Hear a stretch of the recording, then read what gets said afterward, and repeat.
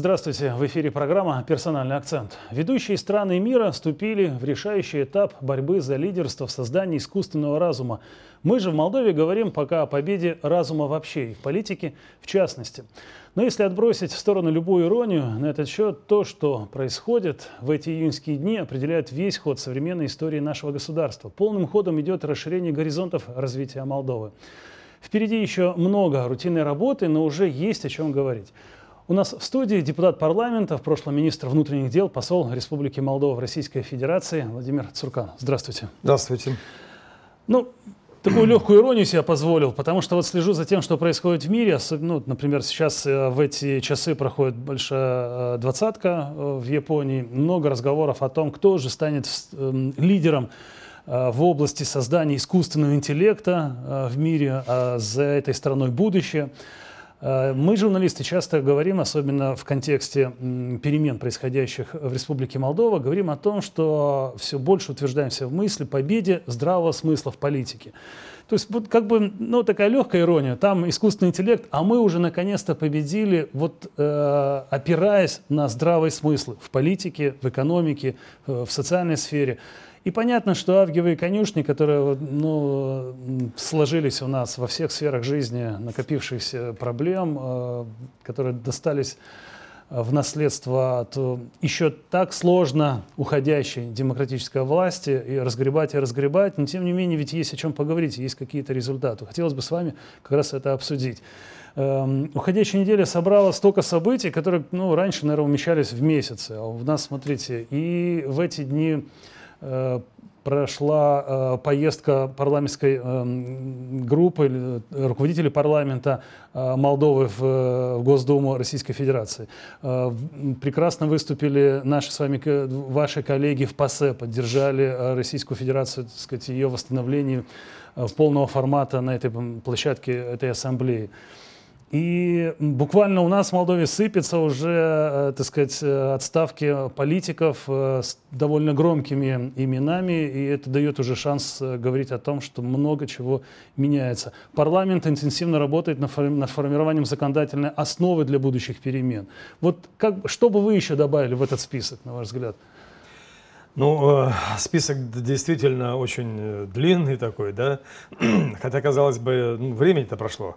Совсем ничего. 7-8, да, будем так июня. считать. Июня, 8 июня. И сегодня и вот, у нас с вами 28. Да, и вот сегодня уже. Да, уже 28. Опять же, уже сегодня 28.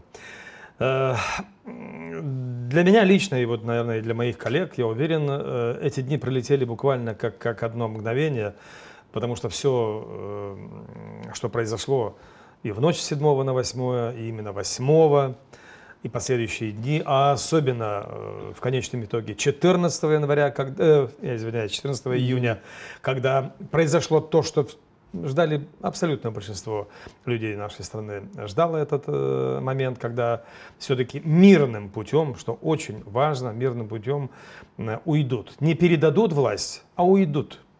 Потому что, конечно, сама по себе передача, она в данном случае была невозможно, и эту власть надо действительно брать.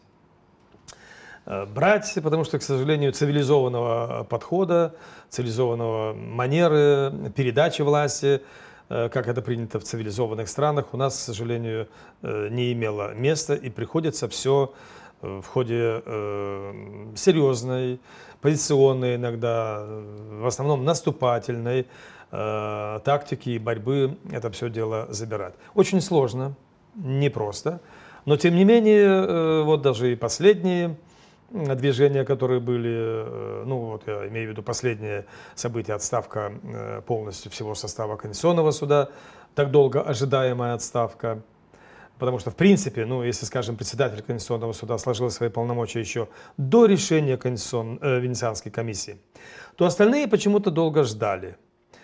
Выторговывали себе чего-то или, в общем-то, ну, ожидали? Я не думаю, что они выторговывали, они были ошарашены тем, что произошло.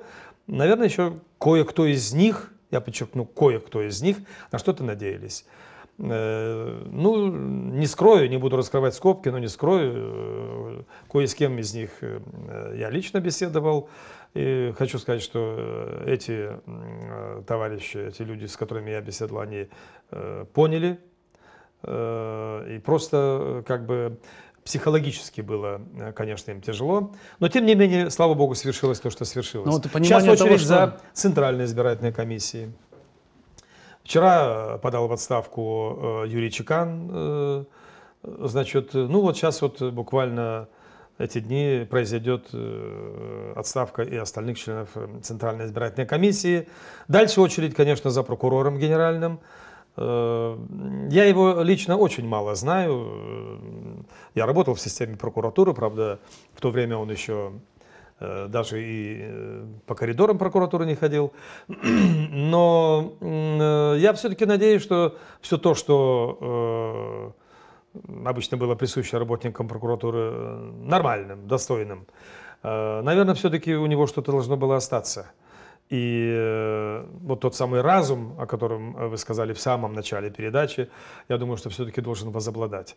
И он должен понять, что другого иного пути, кроме как отставка, у него нет. Другой путь, другой вариант, может быть гораздо, э, скажем так, сложнее и болезненным для него, потому что в конечном-то итоге мы же не будем долго э, ждать и терпеть. Мы надеемся на разум, и они должны понимать, что их время ушло. Ушло время тех, которые представляли так называемую э, демократическую власть, которая фактически захватила государство. Этот захват государства был неоднократно отмечен всеми международными э, структурами. И парламент Республики Молдова 8 июня утвердил соответствующее, принял соответствующее постановление о захваченном характере молдавского государства. И на основании этого сейчас проводится и расследование. Я являюсь председателем этой следственной комиссии по этим ситуациям, событиям 7-14 числа. И хочу вам сказать, что э, абсолютное большинство тех предположений людей, выводов, которые заключались и в мнении международных организаций, и здесь у нас, и мы лично были в этом убеждены, они, я уверен, найдут подтверждение в результатах э, работы этой комиссии. Государство наше, к сожалению, было захвачено, захвачены государственные институты, начиная от Конституционного суда и кончая буквально значит, э, структурами местной э, власти.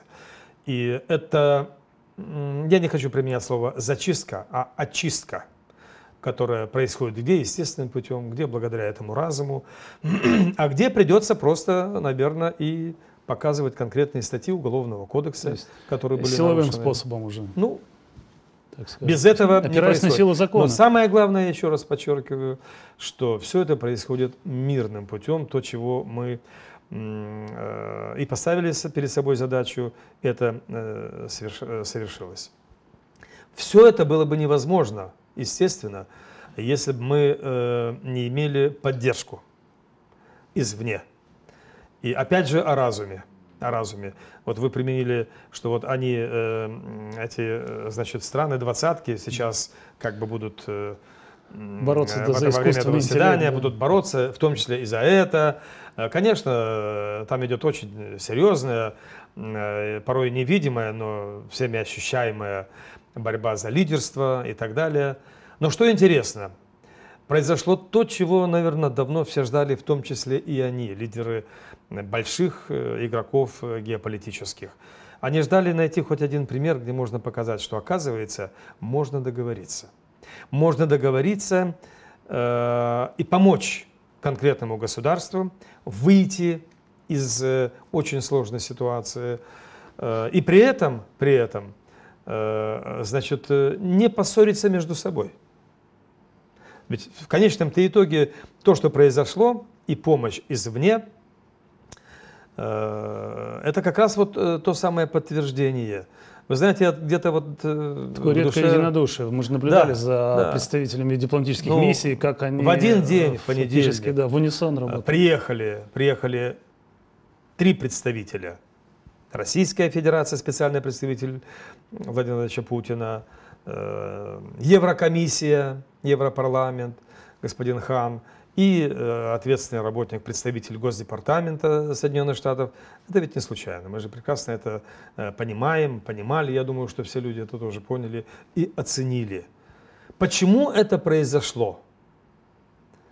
Наверное, еще и потому, да не наверное, а точно, потому что прежде всего партия социалистов и Игорь Николаевич Дадон, президент, смог четко сформулировать видение, как дальше будет развиваться Молдова. Что она не собирается дружить против кого-то. Мы будем дружить между собой и в этом смысле способствовать, в том числе и как минимум тому, чтобы не поссорились из-за Молдовы вот те, кто принял участие извне в, э, в том, чтобы у нас произошло все мирно. Ведь даже господин Хан во время переговоров, и это, кстати, была одна из э, таких последних капель, наверное, которые в том числе убедили и наших нынешних партнеров э, по коалиции Блока Кум, он ведь им четко обозначил, мы хотим, чтобы Молдова была стабильным государством стабильным государством, через которое в том числе и Европа, Евросоюз мог бы э, решать определенные вопросы, э, укреплять взаимоотношения, взаимосвязи с той же Российской Федерацией. С другой стороны, как бы гарантом, ну, перед ними, но гарантом с нашей стороны, был э, господин э, Казак, который то же самое сказал, нам нужна Молдова стабильная самодостаточная, развивающаяся, стабильная и предсказуемая Молдова, которая э, не будет фактором э, такого, знаете, раздражения, раздражителем э, как для одной или другой стороны, а тем более э, тем фактором, из-за которого нам придется думать, а как же выйти из этой ситуации. Это очень хороший залог для будущего развития Молдовы. И вот лично у меня есть э, серьезное основание быть оптимистом в этом плане, что это позволит нам не только в конечном итоге э, в правильном правовом поле, так как всегда мы говорили, мы хотим, чтобы Молдова была правовым государством. Вот именно благодаря этому, что происходит сейчас, я думаю, что мы сможем превратить Молдову в реально правовое государство, реально стабильное государство, а это означает, что эта Молдова будет тем самым привлекательным, э, значит, э, привлекательной страной и для бизнеса как Запада, так и для Востока. А это означает, что мы сможем начать э, решать те задачи, которые очень важны сегодня для людей. Для людей важно, что происходит очистка государства от старой власти – я буквально в субботу сразу же, 15 числа, выехал в районы, Кантемирский район, Левский район, Кагульский, встречаясь с людьми. Вы знаете, что они мне вначале сказали? Вот я говорю, как вы ощущения? Э, вот вроде бы и дождик прошел как-то. Они говорят, вы знаете, нам всем стало легче дышать. Вот ощущение, что людям стало легче дышать. Они как бы поняли, что вот эта вот безысходность, которая не только витала, но уже проникла в мозги, что называется, и в душу людей, все-таки может быть преодолена. И у них появилась надежда, что именно такая Молдова будет в том числе и той Молдовой, которая позволит вернуться и их детям, которые выехали за рубеж, опять же, будь то на восток или на запад – применить уже в нынешней Молдове, которая будет развиваться, свои знания, опыт, а почему нет, и вложить те деньги, которые они там заработали. Да, и не, не быть обкраденными, как это Потому уже что, неоднократно ну, было. Я говорил э, всегда и повторяю, это не моя аксиома, это аксиома жизни. Деньги любят тишину и спокойствие. И не только гранты, не только кредиты тем более – а именно инвестиции – это все то, что может перезапустить экономический механизм страны. А инвестиции придут тогда, когда инвесторы будут знать, эта страна имеет нормальную правовую систему, она имеет абсолютно адекватно, адекватного и правильного президента, парламент, правительство, создана нормальная э, э, бизнес-среда, когда они не должны бояться того, что завтра придет это вот самая прокуратура э, специальная и по особым поручениям, о которых мы всегда говорили. Я когда выступал в парламенте в момент, когда э, изменяли закон о прокуратуре, я сказал тогда, эта прокуратура специальная будет той самой дубинкой против политических оппонентов и против, значит, неугодных бизнесменов в руках у власти. Не поверили. Ну, точнее, они понимали, что так оно и будет, и поэтому сохранили эту прокуратуру и ее использовали. Не случайно один из первых, кто посыпался из нынешней структуры э, значит, прокуратуры, именно руководитель, прокурор этой прокуратуры. Ведь, э, я не скажу новость, да. в народе знаете, как называли эту прокуратуру? Она э, аббревиатура молдавского э, ПЧ КОКС. Угу. Э, то есть прокуратура специальная по особым делам и поручениям. А в народе называли почем КОКС. На чем кокс? Потому что брали бизнесмена, брали бизнесмена, да. задерживали, а потом начинали так. Либо ты отписываешь, либо ты платишь, либо ты будешь сидеть, либо ты дашь показания на кого-то, кому нужно, кого нужно посадить нынешней власти. Кстати говоря, пример э, Эндеспицы, последний, свежий пример. Да такой же пример я могу привести в Тараклии. Тараклии большая фирма, болгарская, там болгары же живут.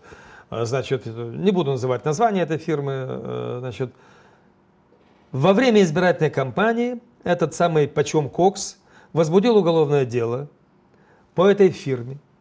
Значит, написали письма во все банки, типа проводится проверка. То есть создали уже э, опаску у этих банков, не работайте с ними, не выдавайте кредиты и так далее, и так далее. А все требовалось только того, чтобы они дали показания А на одного человека, и Б, это чтобы они убедили кандидата от ПСРМ, чтобы он снялся.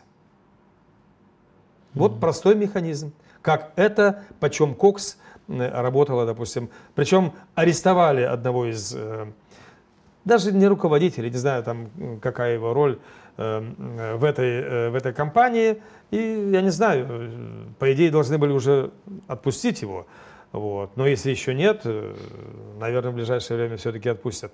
Но ведь это издевательство и над правосудием, и над людьми, и над бизнесом. И получается бесправие. Смотрите, то, что происходило в э, органах власти, то, что происходило в судах, э, даже в последние, то есть на исходе жизни этого состава Конституционного суда в первые дни июня, что происходило, ведь не могло не подорвать, окончательно не подорвать доверие и как бы укрепить, наверное, в людях определенный скепсис в отношении того, что ну, в этих всех инстанциях появятся люди, которые будут защищать интересы. И что вообще существует да, правосудие в Молдове. Вот именно. Ведь сегодня отрицать, что люди с недоверием относятся к органам власти, нельзя. Оно действительно существует, и, и оно э, объясняется очевидными вещами, тем произволом, который ощущали граждане Республики Молдова. Вот здесь стоит задача, как вернуть это доверие и как, как укрепить это доверие настолько, чтобы, ну, знаете, как получать настоящие дивиденды э, государственного характера, когда человек доверяет суду, он не пытается э, решить ту или иную проблему там, с соседом или с партнером по бизнесу знаете, в, в стиле там, 90-х годов, а идет в суд и понимает, что там, да, будет, будет э, дана про, настоящая законная оценка, этим событиям будет вынесен правильный вердикт, и он будет защищен. Да. Вы знаете, здесь еще один момент очень важен. А, первое, чтобы мы шли по этому пути, которому мы сейчас идем, э, руководствуясь законом. Не эмоциями или какими-то сиюмоментными ситуациями. Это очень важно, и, э, как говорится, тфу тфу тфу так мы пока и действуем. Конечно, мы могли пойти по беспределу, скажем так, да? Которым обычно руководствовалась э, ушедшая власть или выгнанная власть. Я думаю, что этот термин будет более правильный. Нет, любая власть, которая выгнала вот ту самую коррумпированную, коррупционную, значит, беспредельную власть, если она пойдет по этому же пути, ее ожидает та же самая ну, она обречена, судьба. Да, будет. Та же самая судьба ожидает. Поэтому в данном случае очень важно идти последовательно, быстро, оперативно, но хорошо продуманно и законно. И вот именно эти принципы положены в основу нашей деятельности.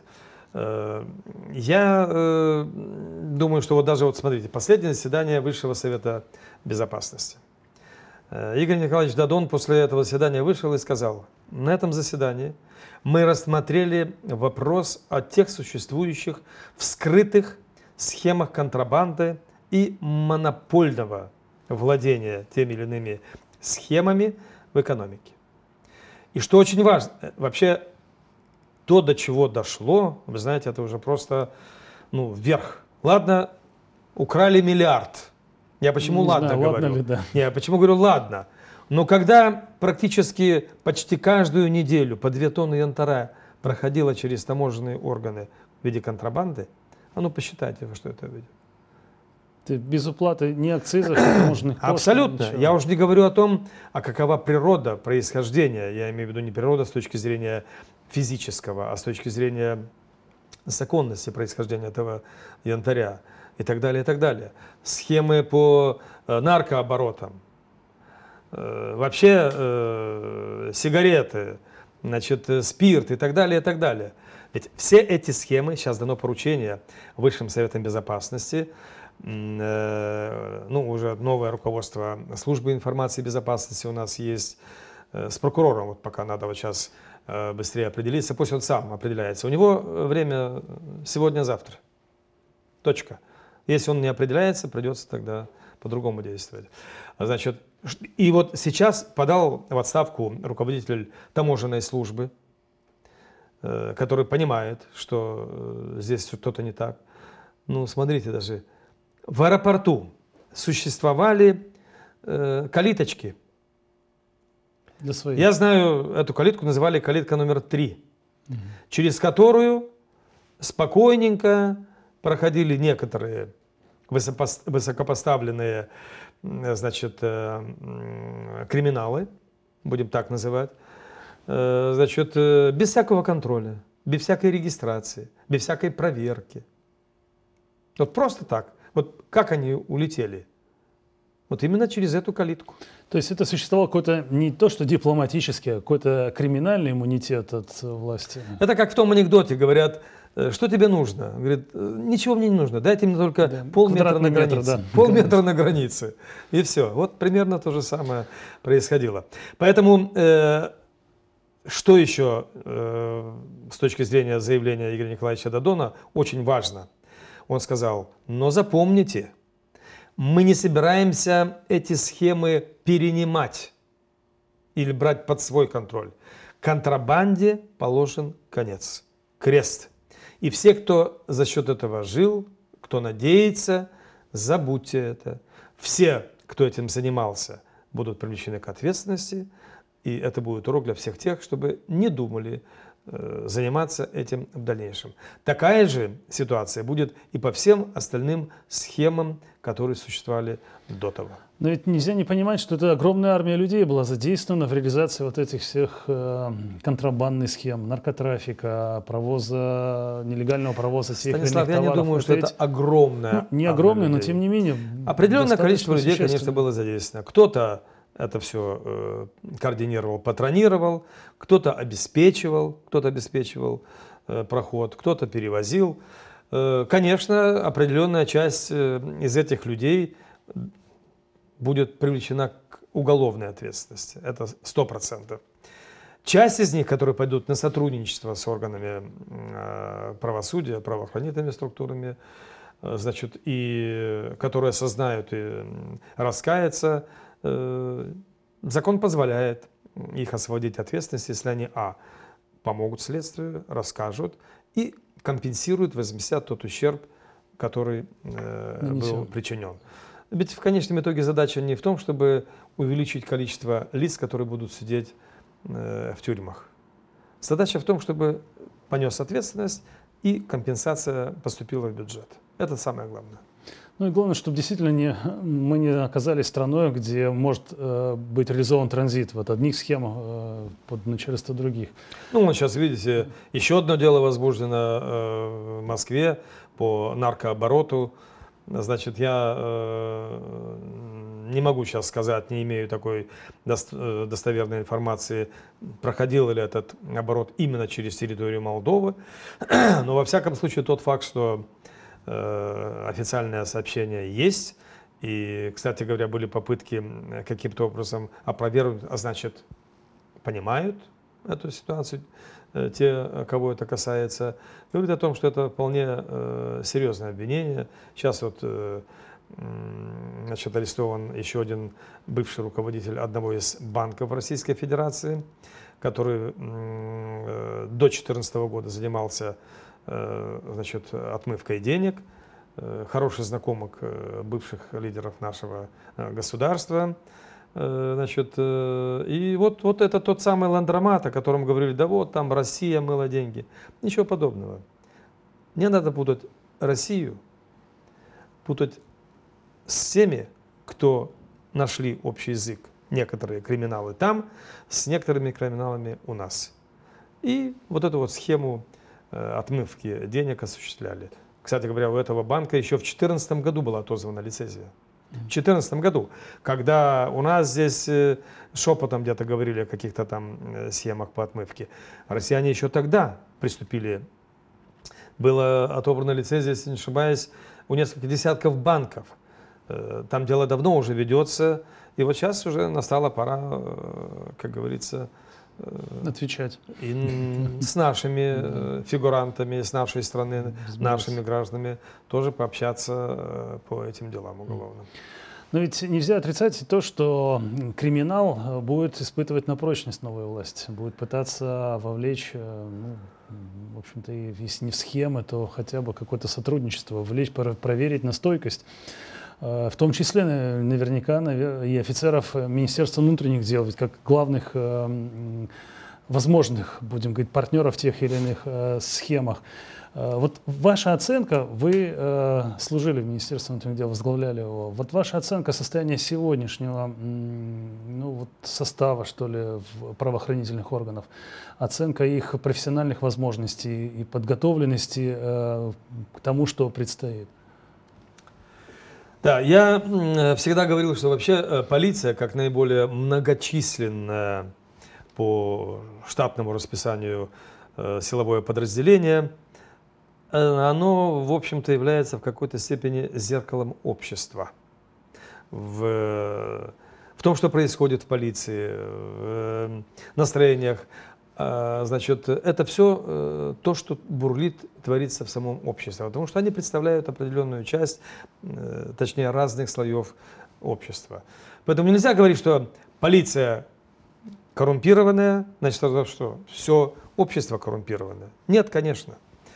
Э, как говорят, в семье не без урода. Есть такие лица, э, они э, были и есть, которые действительно и позорят честь и офицера полиции, то, что называется клятвой перед страной, перед государством, Э, строго выполнять законы, э, защищать интересы людей, правопорядок и так далее. Э, но я знаю, что так было и так есть, что все-таки абсолютно большое, большинство этих людей – это честные люди, которые действительно хотят работать во благо народа. Действительно так. При всем при том, что имеются огромные проблемы, связанные с материально-техническим обеспечением – с уровнем заработной платы, с уровнем их социальной защищенности. Все-таки это работа, что называется, нон-стоп. Это постоянные риски психологического, физического, э, риски для жизни, в том числе для здоровья их. Э, и я всегда был на стороне и буду на стороне этих людей. А вот те, которые действительно совершали, э, значит, нечестные совершали такие проступки или участвовали в этих схемах, э, я им просто рекомендую уйти. Вот сейчас уйдите для того, чтобы не бросить пятно позора на всю структуру. Кстати говоря, вот когда мы говорили о прокуроре, ведь и это тоже очень важно, чтобы он ушел. Вот как поступил этот прокурор этого почем Кокса. Ушел, Этим самым начнется очистка имиджа, в том числе и этого структурного подразделения, которое, кстати говоря, я сейчас вот э, будет рассматриваться изменения в законе о прокуратуре, я предложил вообще ликвидировать эту специальную так называемую прокуратуру, чтобы не вызывать аллергии у общества и дальше. Так вот, МВД. Э, они ведь в этот период, особенно 7-14 числа, э, находились, с одной стороны, по-прежнему под влиянием э, той самой власти, которая не хотела уходить и цеплялась всем, чем возможно, когтями, зубами, блокировали министерские здания, да. министерские здания. Полиция не получала команды никаких действий совершить по разблокированию. Я вот сделал сейчас запросы соответствующие в МВД, в службу охраны, ну, не говоря там про СИП, про прокуратуру и так далее, и так далее, чтобы они э, ответили нам в комиссию следственную, а какие действия были предприняты. Или почему э, указанием, э, значит, они не делали ничего. Я знаю, что э, они были возмущены, многие, тем, что творится. Значит, но сами не могли как бы перешагнуть через есть такое понятие профессиональной деформации мышления. Вот особенно у работников полиции, они люди подневольные, под приказом. И хотя есть такое положение, что приказ, если ты считаешь его незаконным, ты мог бы и не выполнить его, но и действий никаких они не предпринимали. Они могут быть спокойны. Те, которые не давали указания ничего не делать, те, которые не давали указания что-то делать вопреки интересам народа, эти люди могут быть абсолютно спокойны. С ними никто не собирается каких-то разборок проводить. Э, но они должны понять, что то, что народ требовал, то, что народ требует, они все-таки на службе находятся у народа. И тогда им это все будет воздано обратно. То есть им вернут, я уверен, и мы будем настаивать тем более, что имеем большинство сейчас в парламенте, о том, чтобы целый ряд социальных гарантий им вернули. Пересмотреть вопрос, связанный с их э, заработными платами. Ведь в конечном итоге иногда, ведь как объясняют те, которые берут там, я не знаю, какие-то подачки, взятки и так далее, ну, мне надо кормить людей, э, детей, надо кормить семью. А я постоянно, ну, э, как бы оправдать это нельзя, но где-то по-человечески это объяснение, где-то начинаешь и, и понимаешь свою ответственность. Э, ты создай ему такие условия, чтобы он не думал о том, чем сегодня будет питаться его ребенок или семья, э, и тогда он будет с большей чувством, большим чувством ответственности работать. Поэтому я думаю, что э, сейчас, после того, что произошло, и сотрудники МВД вздохнули свободнее, потому что они поняли, что действительно можно что-то изменять в этом государстве, и у них появилась надежда на то, что и их труд будет оценен по достоинству. Ну, абсолютно с вами согласен в отношении вот так оценки того, что Министерство внутренних дел, состав офицеров, э, всех, кто там служит, это отражение, так сказать, общества, настроения общества. Потому что ведь э, сегодня мы в этой студии много э, на разных площадках говорится о, ну, знаете, о сохранении или о культивации такого понятия, как патриотизм. Потому что когда происходят э, служебные преступления, это не что иное, как предательство. Предательство э, своей клятвы, которую ты приносил, вступая на эту должность, и предательство страны, э, чьих граждан должен защищать, чей покой должен защищать. Я, это все как бы понятие одного корня. Отсутствие э, любви к своей родине, отсутствие вот того глубокого патриотизма, понимания, э, сын какой страны, э, каких традиций, э, кто ты, когда ты отвечаешь на этот вопрос. И тогда, мне кажется, сегодня этот э, ответ общество ищет, вот глядя, наверное, уже на то, что происходит в парламенте, потому что, мне кажется, доказательства наличие патриотизма в обществе сегодня ждут от парламентариев, от тех решений, которые будут приняты. Если они будут понятны, что главный бенефициар всей этой работы парламентской э, народ Республики Молдова, тогда, конечно же, это будет такой вотом доверия на многие, ну не знаете, если, если даже следующие выборы изменят конструк, конструкцию парламента, то этот парламент все равно уже вошел в историю современной Молдовы, уже показал с э, этим массовым поступком Э, когда э, совершенно разновекторные э, идеологические, геополитические, как сейчас говорят, люди объединились для решения проблем собственных граждан. И тогда такой вопрос, на чем концентрируется, на, на, на чем сейчас концентрирует свою работу вот на парламентских площадках, в комиссиях ваши коллеги, вы, собственно?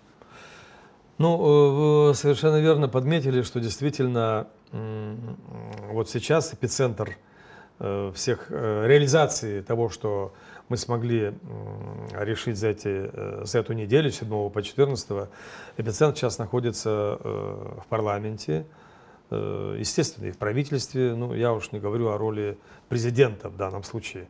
Мы наконец-то увидели, что президент, оказывается, может даже при ограниченном количестве, сказать, и своих полномочий, но президент может играть очень серьезную роль, что он и делает сегодня.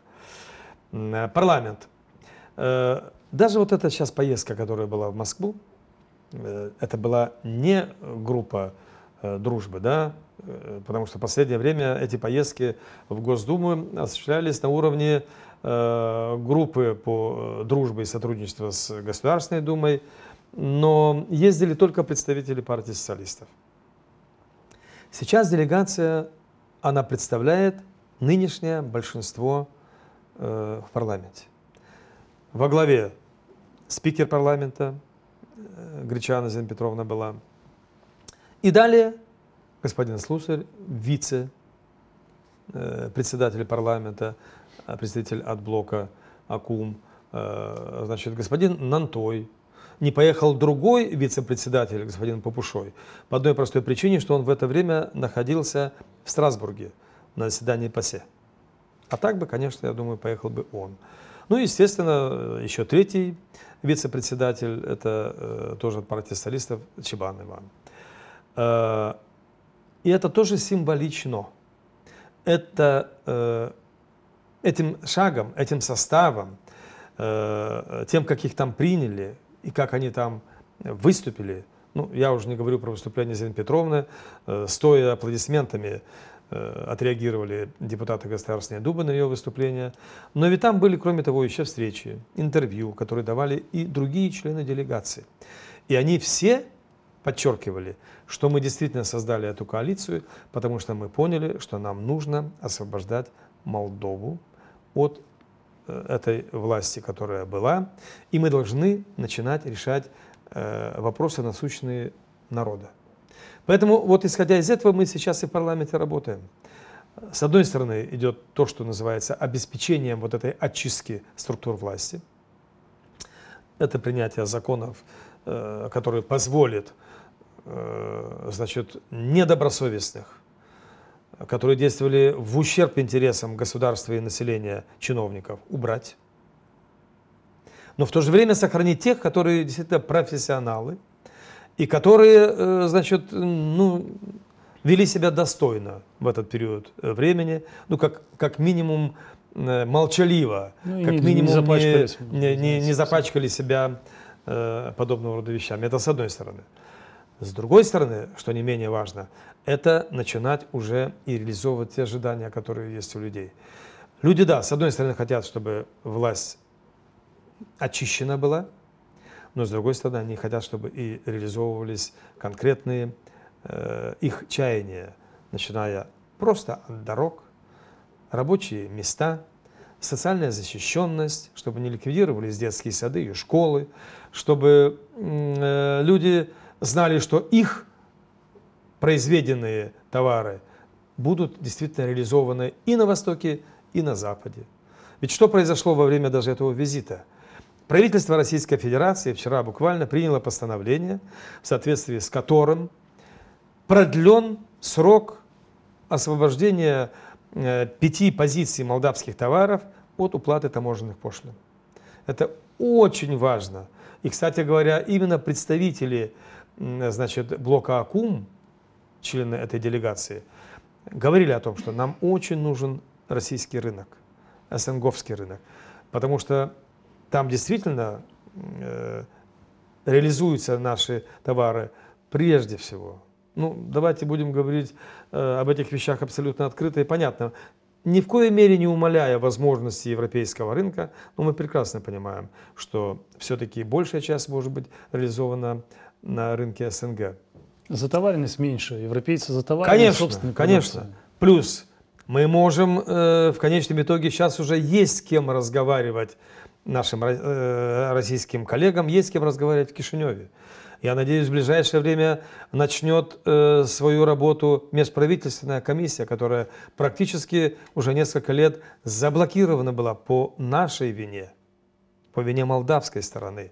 А это что означает? Это означает, что начнутся продвижки и в энергетической сфере, что очень важно. Ведь э, э министр нынешней экономики вот буквально вчера выступил и сказал, а вы знаете, ведь то, что они показали как вот наши заслуги, э, снижения тарифа на газ, это вовсе не их заслуги. Они просто кинули предвыборную конфетку. А сейчас, когда мы стали разбираться, а ведь это далеко не так. И сейчас надо вновь думать о том, что надо повышать тарифы на газ. Это мера, которая далеко не аплодисментами будет встречена ну, людьми, естественно. И тем более сейчас очень важно, чтобы договорноспособная часть этой коалиции, то есть представители партии социалистов, могли договориться с российскими коллегами о том, чтобы все-таки э, «Газпром» смог найти э, возможность, резервы для того, чтобы э, определенную льготу создать для поставки газа на территорию Молдовы с точки зрения цены, ценообразования.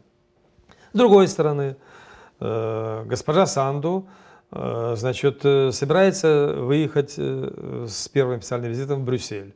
Я уверен, что одна из основных тем разговора будет возобновление финансирования, макрофинансирования экономики Молдовы и вообще Молдовы.